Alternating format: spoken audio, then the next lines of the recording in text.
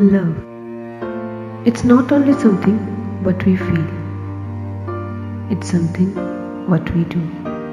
And for me, love is to be with you.